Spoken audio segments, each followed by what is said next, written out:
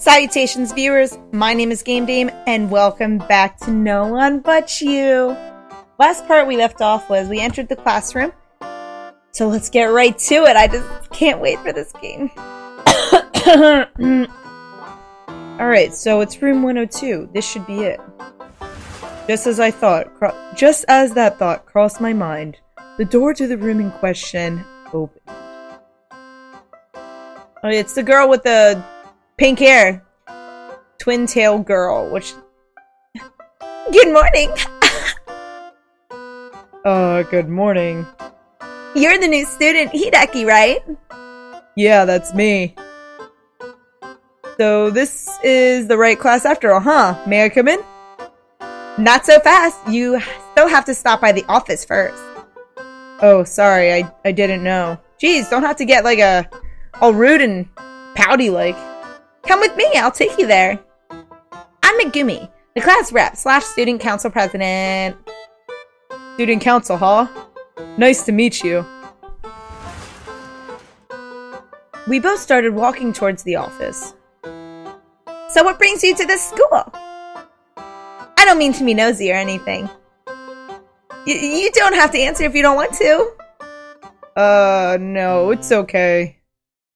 Why is Megumi blushing? That wasn't an unexpected question, let alone a personal one. Let's just say that my mom is really spontaneous. Ooh, that must be fun. Not really. This is the first time we actually moved on a whim. She just likes to go on these weird little trips every now and then. Yes, very weird trips. You don't look so good. Do you need to go to the nurse's office? I'm fine. I was just recalling some memories. Best left forgotten. Sounds scary. Here, I'll put you in a better mood. What you gonna do, huh? Before I had time to react, Megumi embraced me. What? What is going on here? I already thought this girl was a little off, but why would she hug me as someone she just met? Megumi let go of me while blushing, then backed away a little bit. Sorry if I made you uncomfortable. No, not at all. Well, honestly, it was a bit awkward. But who in their right mind would complain about a cute, busty girl hugging them? Anyway, here we are. I had to get back to class now, so you need to enter by yourself. You just have to do some paperwork, so it shouldn't take long. Uh, sure. As she walks back to class, Megumi swayed back and forth a little. Yeah, that's right. She wants you looking at her, Betty. Did that really just happen? Meeting a family friend on the way to school is one thing, but being hugged out of nowhere by mere minutes after first meeting someone? Moreover, Megumi was the one who hugged me, so why was she acting all embarrassed? A friendly girl like her probably hugs everyone, right? Huh? Forget it. Let's just put this paperwork done so I- let's just get this paperwork done so I can get to class. Man, Hideki, you're smoozing up the ladies. Shouldn't take long, she says. Honestly, I got up early for my first day of school, and yet I didn't even attend class today. I guess that'll teach me to be so motivated. Speak of the devil. What's with her hair? Hey, Hide-kun! Megumi ran towards me, jumping around like a puppy greeting her owner at the door. In fact, she kind of reminds me of Hachiko.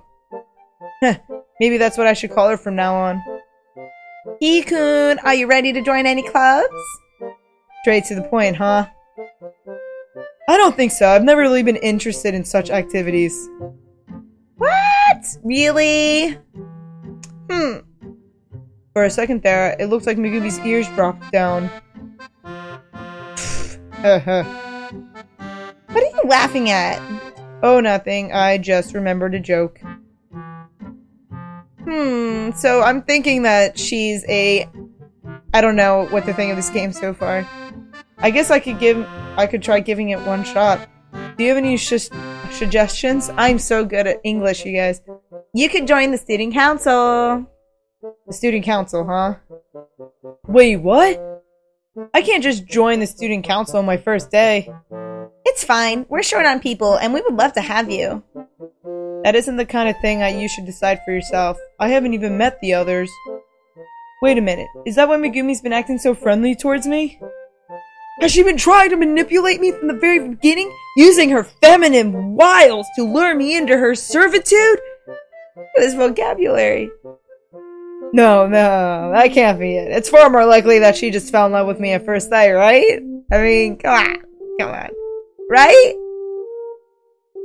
Well, it's not like I have any particular reason to refuse. The second those words left my mouth, uh, Megumi perked right back up. I'll think about it, okay? Yes, absolutely. I won't pester you about it anymore today, so make sure you give it plenty of thought, okay? Sure. Crazy. Okay then, my quest shall continue tomorrow. Bye bye, Hide-kun! Megumi waved goodbye and walked away cheerfully. That girl sure is something. I managed to escape in one piece this time, but something tells me I'm going to be hearing a lot more from her in the future. On my way home, I decided to take the long way around, so I could pass by the bridge again. As I was walking alongside the road, I noticed the same girl from this morning, standing at the same spot. Oh, it's her. Her name was Chinatsu, right? Should I? Of course I'm going to talk to Chinatsu. Started walking towards Chinatsu. Mind if I sit down? Oh, Hideki, not at all. Hmm, Chinatsu seems a little down. The view sure is breathtaking. Looks like the sun is hiding inside the river. It's a pretty sight. I've lived here for years now, yet I still haven't gotten used to it. Used to what? How beautiful all of this is. Would it be cheesy to compare Chinatsu's beauty to that of the scenery? Given my jokes from earlier, I might really be classified as a stalker. Even so, I probably should say something. Quack like a duck. Make an excuse to leave, start a conversation. start a conversation. Maybe I should try talking to her. Say, what do you like to do around here in your free time? I like to read and swim. Other than that, nothing really. Video games? Uh, if you asked me that, I'd go on a whole rampage of how much I love video games. Um, no, not really. I'm not interested in such things. Oh well, worth a shot. Oh yeah, I remember you saying that you had a club meeting this morning. Yes, I'm in the literary club. Why not the swimming club? You said you like to swim, right? I only like to swim for fun. I don't really like competitive sports. That's the opposite of me. I love competitive sports. I'm with you there. How are you supposed to enjoy yourself if you're always fighting someone for the top position? That's the joy in it! Fighting for the top! Yeah, that's what I like to think as well. Chinatsu and I continued to speak as we sat there looking at the sunset.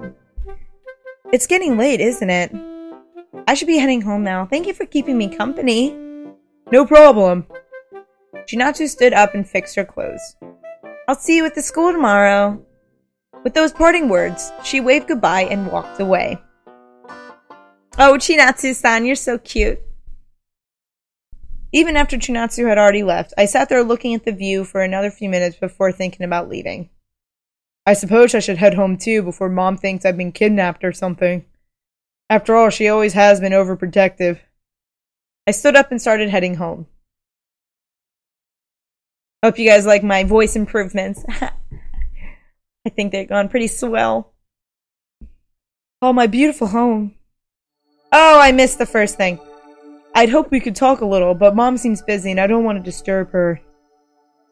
I suppose I'll just see what she made for dinner instead. Hmm, fried fish. It'll do, I suppose. I grabbed the dish and took it up to my room. My awesome freaking room that I'm so jealous of. I want that room so bad. I changed my clothes and sat down on my bed, searching for some way to kill time before bed. Should I play a video game? That's what I ask myself every time. Should I play? No, I do, and then I don't go to bed. No, forget it. After the weird day I've had, all I need is a good night's sleep.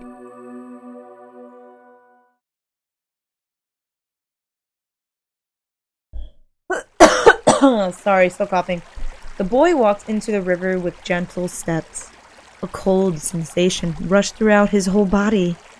Inside the deep, cold river he went, as it covered him up to his head, drowning, slowly sinking into the darkness. Jeez. Thirsty Thursday. You guys didn't hear that. Thursday. April 12th on a Thursday. What is she doing here? Good morning, Aki. Already? I haven't even started monologuing yet. Wait, that's not the problem here. How does Megumi know where I live? G good morning, Megumi-san. I wasn't expecting to see you so early. Do you live nearby? I live in the apartment complex a little bit further down the road. Oh, there are apartment buildings down there? Yep. Gosh, every word Megumi says is filled with excitement. You sure seem energetic this morning. I'm just ready for an exciting day, that's all. You don't say. La la la da da da da da da. wow, excited and tone deaf are not a good combination. On the other hand, it is kind of adorable. What, that she sucks at singing? hey, what are you laughing at? Oh, I just remembered that joke again. You and your jokes. If they're so funny, why don't you just share them with me? I'd rather not. Oh, you're no fun. At least I'm not a stalker like another certain someone. Though Chinatsu might say otherwise. Forget it. Let's just hurry up and get to school. The class rep shouldn't be late, you know. Oh shoot, you're right. Let's go. Oh, I have weird girls with ears and pink hair following me. After being dragged all the way to school, I followed Megumi into our classroom. As we entered, however, I could clearly hear two people arguing. Good morning, everyone! Despite the tense atmosphere, Megumi greeted the class completely unaware of her own disastrous timing. Hmm. Uh-oh. Without saying another word, the brunette girl stormed off. I wonder what that was about. It's not my... I'm just gonna stay in class. No, I'm sure it's nothing. I should just stay in class. Hmm, I wonder what's up with Yui. The brunette girl who just stormed off? Yeah, that was uh, Yui Komatsu. She's always been like that. She usually just skips class, as you've just seen. I see. Anyway, forget about that. Come sit next to me. The seat's empty anyway. There goes Hachiko again. Is Megumi this chummy with everyone, or was my love at first sight theory not so crazy after all? No, no, stop it, Hideki. You barely know this girl. Change the subject before you accidentally propose. So her name is Yui, huh? She seems like an interesting person. That's just how Yui is. Ryo enjoys making her mad. Ryo? That guy over there with the annoying smile? Huh, I was expecting Megumi to see something negative about the guy. Maybe she isn't as nice to everybody after all? Either either that or this guy is a real piece of work. What kind of voice should I do for this guy? Hey, new kid! Ugh, annoying smile guy is calling for me. Should I ignore him? Hello? Go away, go away, go away! Can you hear me? This guy doesn't know when to give up, does he? I guess I have no choice. Yes? That's me, friends! Uh, what? Me and you, friends, what do you say? I ignore the guy and he wants to be my friend? This guy seems way too pushy or maybe just desperate. You don't even know who I am! Well, you seem like the kind of guy who knows his way around the ladies. I mean, this is only your second day here and you've already tamed Megumi. Excuse you! No, I meant that as a good thing. How could I possibly interpret what you just said as a good thing? Uh-oh, this could be trouble. He's already chased off Yui. I don't want Megumi to run off too. Better change the direction of this conversation before these two get their claws out. So, uh, you say you want to be my friend because I know my way around the ladies, but you weren't getting along with that girl Yui just a minute ago. If you call getting smacked on the head getting along, then sure. Smacked on the head? What could you say to get mad? No, I, that I couldn't guess given how quickly he pissed off Hachi. Nothing really. Yui actually transferred here last week, but every time I talk to her, she seems to get mad. You got that weird smile, dude. Maybe you shouldn't say anything to upset her. Didn't say anything this time. Well, Megumi said you enjoy pissing her off, and I get the distinct feeling that everything this guy says pisses someone off. What? Megumi, did you really say that? Isn't it true? No, I don't enjoy doing that. I'm not a jerk, you know. But uh, you are a jerk, and we are going to save that. Overwriting my save. Thank you guys so much for watching. I'm really enjoying this game, and I really hope you're enjoying my voices because it's kind of putting a strain on my throat, but that's okay.